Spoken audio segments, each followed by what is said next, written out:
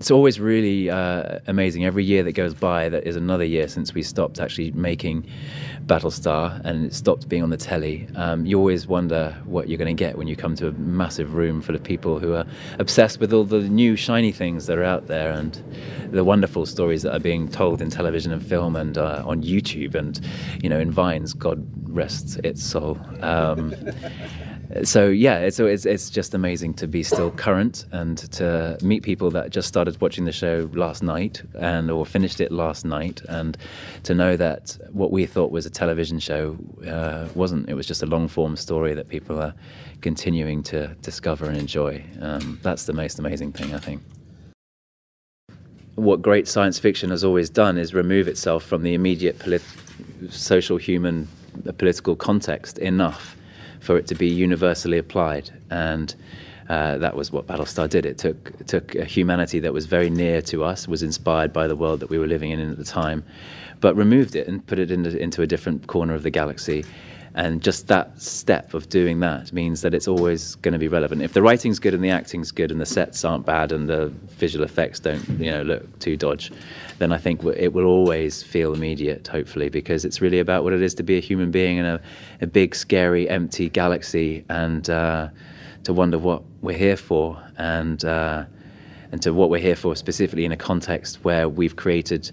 Um, something that's arguably better at being human than we are. And, uh, you know, that's part of the dialogue. You read it in the papers every single day artificial intelligence and how boundaries are being pushed and how, how, how we're getting ever closer to the idea of a conscious machine. And once that happens, you know, where, where does that leave us? And whilst the reality of that may not be as sort of. Uh, as as as as threatening or as baroque or as scary as um, you know the extinction of humanity by these sort of uh, moustache twirling machines. Um, nevertheless, humans are becoming more redundant. Uh, I, I, think just in the workplace, you know, we, there's not as much for us to do, and there's more of us. And where does that leave us? You know, questions like that. And and uh, Battlestar dealt with those issues very dramatically took it to their logical conclusions and uh, created great drama out of it. So I, I, I, don't see how it becomes irrelevant if, if you know, if, if, if the acting style doesn't jar or the effects don't great, then I think these stories will last, you know, forever. You know, at the beginning, there was a. It, it, it was strange because you know you, you pick up this project, this title that I had been familiar with as a kid, and it feels childish and, and and then you see an actor of the stature of Edward James Olmos tell you it's the most important story he's ever worked on, and then you go, oh, well, that doesn't make any sense because it's kind of goofy, and then you so you had to assimilate what they were, what Mary and Eddie were bringing. Um, was, was a real, uh, obviously, pedigree uh, and a serious and a, a seriousness and a commitment to it and and then on a personal level, it was very important because it was a big break, and you, you, don't want to screw it up. You want to you know you want you want, you want this to to help in your chosen profession. Uh, so you know they changed it you know, immediately. Just the, the, the, way they brought uh, a sense of of uh, gravitas to the subject matter and. Uh, I just I'll never forget the day that Eddie we were walk, being walked through the sets and he, he, he was he just wanted everything messed up like these beautiful science fiction shiny sets he wanted them all messed up. And they said, Hey, we're going to do that. We're going to do that. he said, No, no, I mean, really messed up. I want this to be falling. And he walked around the whole place. And that was a sort of little image of what he did, you know, for us as actors. He just wanted everything to have that dirt under the fingernails and from the, from the performances to the costumes to the, to the look of the whole thing.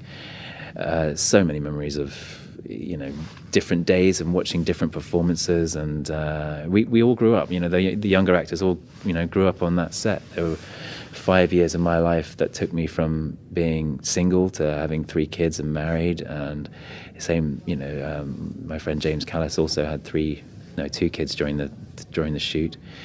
Um, you know, we, we changed during the whole process, and the, the show changed us, and the people we worked with changed us. Michael Rymer changed me as a he, he enabled he I remember at the very beginning he sat, sat us down and said let's talk about your character and let's talk about what we can do with this character and I no writer or director had ever asked my opinion before ever in, uh, you know working in Britain I was just told to read the lines and you know not screw up and hit your marks and we'll go home afterwards and have a have a pint in the in the in wherever we were staying but um, yeah, so it was empowering, and, and Ron Moore too. By the end, you know, the writers were encouraging us to, you know, share ideas, and it, it was giddy. It was it was a really special time.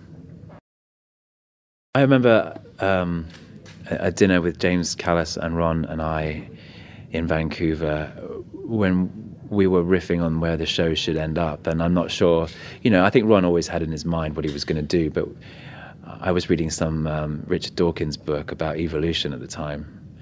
And uh, the, the various moments in evolution in the past where, you know, inexplicable leaps have been made and human beings yeah, some, some moment about 50,000 years ago when sort of overnight we become artists and we start creating things and what happened. And, you know, you, we, we were just, you know, guffing about what, what, what our, where our show could fit into the timeline of actual humanity, of our experience of humanity. And obviously there were many different arguments about whether it should be in the future or the past or whatever it was. And I remember Ron being very open and, um, what, what what ended up on the screen is uncannily similar to the sort of things that we were pitching to him. But I think there was a twinkle in his eye because he could see that he was always obviously he was the creator and is ahead of us. But he, he, encouraged us to you know throw our sixpence in there, and um, I, I, I, think he en- enjoyed that side of collaboration as and we certainly did. But yeah, there were lots of guessing games. There were many moments along the thing. I, the moment when I realized the show was going to be different than anything I intend, uh, expected was how seriously they went for the Cylon monotheism very early on, as opposed to these sort of pagan humans. I just thought in America at that particular time, at any time in America, as soon as you make the baddies the guys who believe in one God, um, then you've, you've, you've you, know you're you're, not, you're spoiling for a fight somewhere. So, and it's always fun to be involved in a drama that's not scared to do that. Um, and you know he wasn't scared. Ron wasn't scared. I'm, I'm just a, a, human, and I can be flattered like anyone. So it was nice. You know, it was nice to get some attention, and um, you know that was part of the show. And television, especially in America, you know, it does sell itself a bit on you know the eye candy thing and uh, we were younger then, and um, um, it, it, was, you know, it, we were in our prime, some of us, and it was all of us, I think. Um, and uh, yeah, it was a good-looking bunch. I mean, were, those robots were fine, weren't they? if you're going to make a robot, you may as well make it, you know, so it looks nice. as as you know, Apple did with objects, where we can't help but hold them and play with them and all the rest of it. Whereas, you know, the remote controls of my youth were not very exciting. They were like these things. They were like too many buttons.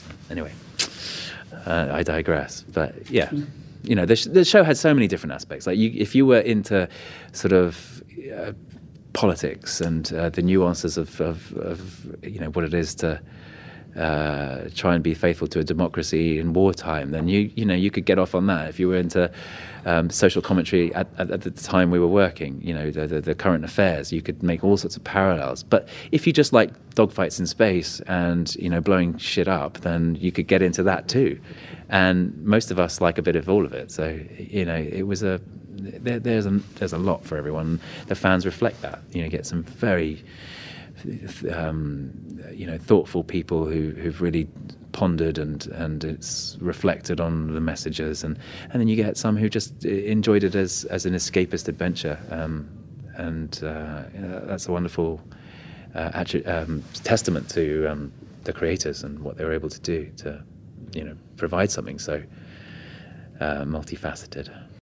I enjoyed the more philosophical, political stuff. I have to be honest. I mean, uh, to do, I, I, I, love the running around in the guns, and I love the Viper stuff because you know that's a boy's. You know, it's just a dream. You know, I'm flying a cool-looking spaceship in space. I mean, that doesn't get any better. And when you watch it back on the screen, and it is every bit as exciting as you know you had in your head, and you know happens to be you in that thing. Um, you know that's amazing. And uh, it, it, makes me smile to this day.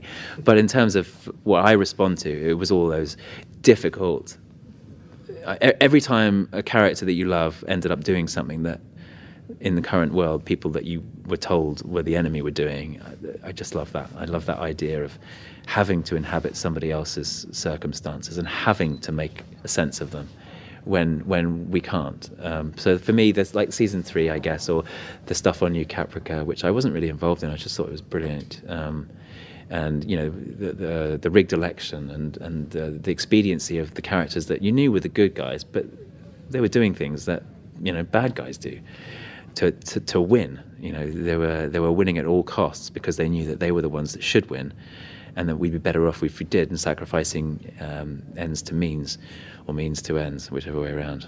Um, so yeah, it was all those bits that really got me going.